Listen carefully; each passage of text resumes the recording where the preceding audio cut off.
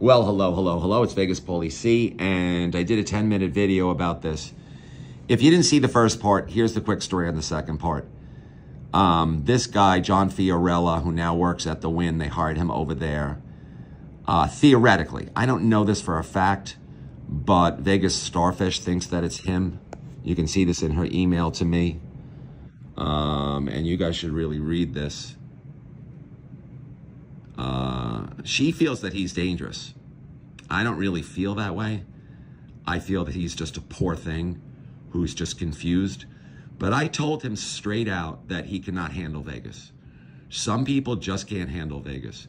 So this is the email that he sent to Vegas Starfish accusing me of having a 15 year old. Here's the second part. Uh, I have been told uh, he harasses you and keeps bad mouthing you. The man is disgusting. He lies and is a monster. I know someone who told me he did this to his daughter. His father is in jail. How convenient at the moment. But when his but when he gets out of jail, this man is done. Several people have come forward and told me this. I trust the sources. And I like the caption here.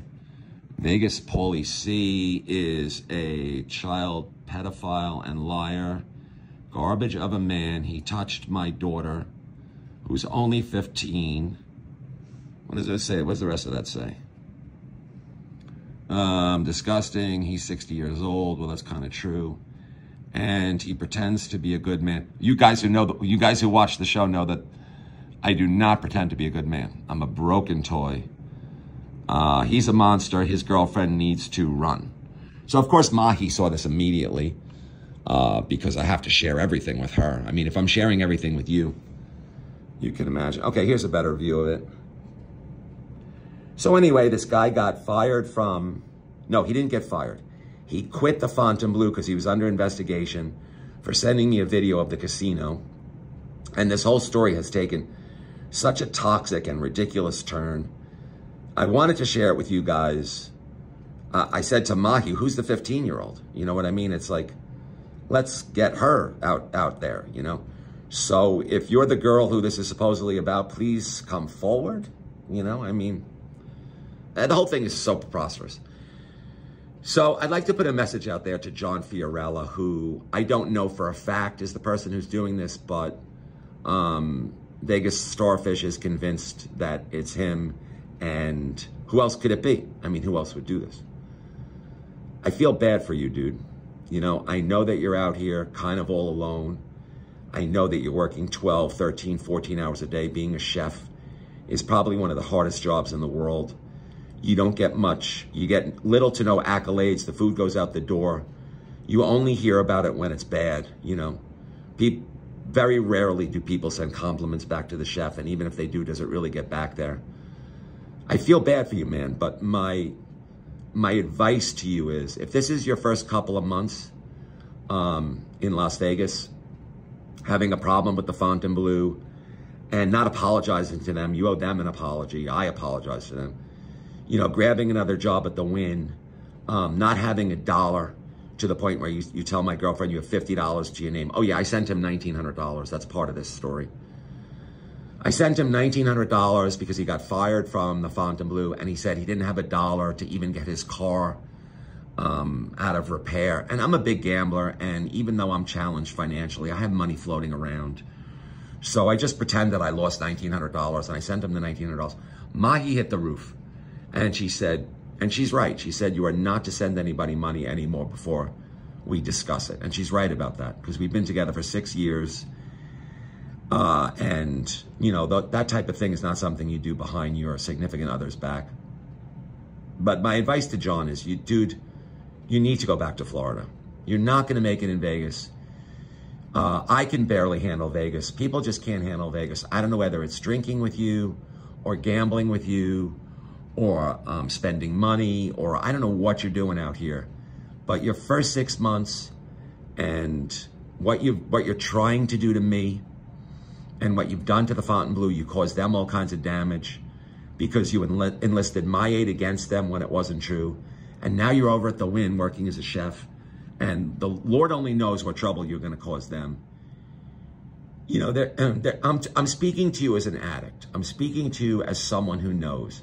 I'm speaking to you as someone who has caused pain to people. I've caused plenty of pain to people in my life by spending money I didn't have, by gambling money I didn't have, by borrowing money I didn't have. You know, you guys have heard the story. At one time, I owed Anne Marie $100,000. I had all her credit cards maxed out. She's not the worst. Um, my business partner for years and years and years and years, Bruce, he suffered. You know, when I was destroying myself, he suffered. He always supported me. Shout out to him. Fantastic guy. You know, we're still friends after 50 years. We know each other for 50 years since we're little kids. He suffered through so much bullshit. I've caused him so much pain.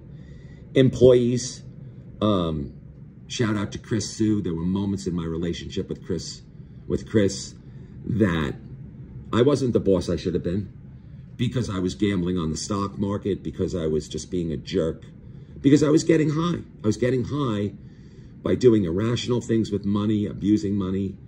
Um, a lot of people who know me have been through a lot. So I feel terrible about that. And I guess what I'm most proud of is that all of these people that I've put through a lot, I, they're all still right there with me. Anne Marie, Bruce, um, even the man behind the man up there in the, in the condo. You know, he's, you know, he's watched my lunacy. I haven't really put him through through too much, but even he stands, you know, with me. Mahi, um, because I think the people that are on the inside of my life, and I don't know if I mentioned Chris Sue, but I think the people who work, who we work, I work very closely with him for five or six years. I think the people that are on the inside of my life know that, and I've used this term several times, they know that I come from a place of innocence and they know that I'm a mess and they know that I'm an addict and they know that I'm just at the end of the day trying to have fun and trying to entertain and trying to enjoy life and that I just have so much gratitude. But when you do something like this, when you put out there that I'm this and I did that and I have a 15 year old in my life, and I'm talking to you, John. And again, I'm not angry with you. I, I feel terrible that you're in this much pain, that you would actually construct this and cause this trouble for the Fontainebleau and try and derail my career. And like, if you're capable of this, wow, you know, what else are you capable of? You know, and I think this is why Vegas Starfish says in the other part of her email here to me, I think this is why she says that you're dangerous and should be taken seriously. He emails a lot. So you're harassing her. You're sending her all kinds of emails. She doesn't need this.